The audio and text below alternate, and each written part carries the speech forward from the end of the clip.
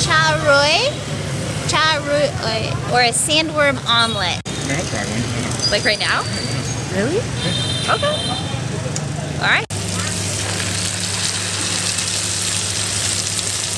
All dressed up and ready to go. Oh, it's got noodles in it. Oh, interesting. Unless that's sandworm. Yeah. It tastes like lime and chilies and cilantro. It's good. All right, let's do this. Được chưa? Đóng It's not bad. It reminds me of a pickle. Never, ever did I think I would be in Vietnam eating worm pancakes. but very happy about it.